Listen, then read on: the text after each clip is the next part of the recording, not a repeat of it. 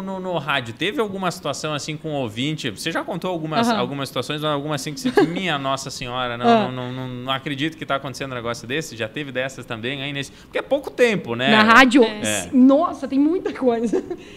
Teve um momento, nós tínhamos, nós estávamos com os estúdios provisórios aqui em cima, Ah, né? sim. Devido ao ocorrido. E um senhor, ele chegou lá com um Vectra.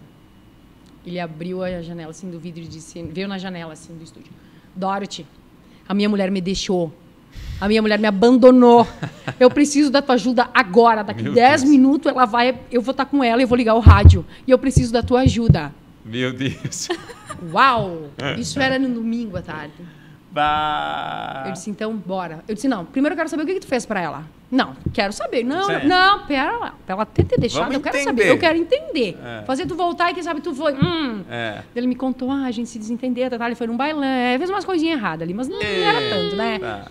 Daí ele disse, eu amo ela e tal, e tal, eu amo ela do fundo do coração, é a mulher, é a mãe dos meus dois filhos. Pá, eu disse, então tá, eu vou te dar uma chance. Agora, tu não pisa na bola, porque tu tá pisando comigo, né?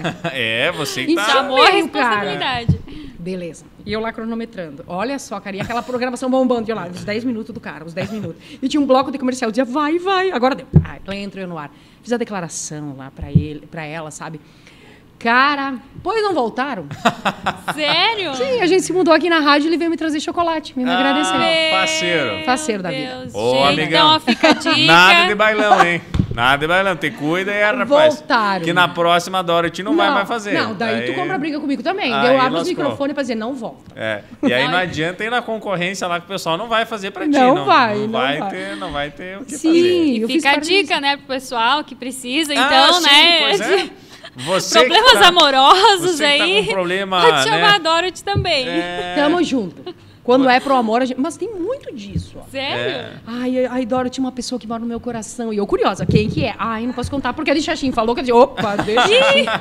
Xaxinha agora eu vou e descobrir. eu, no caso, que era meu amigo. Bah. Ah, eu digo, pá, deixa pra mim, vou dar uma forcinha. Deu uma forcinha ali também. Olha, aí fazendo papel de Ah, cupido também. Ah, cara, se é de amor, se é por amor, às vezes por causa de um, desli- tipo, de um atritozinho, sabe? De se chega alguém aí com uma palavra legal, pronto. Já encaixa, unimos vambora. casais, é isso aí. O negócio é viver feliz, né? Oh, não, eu sempre digo, água morna não faz nem chá.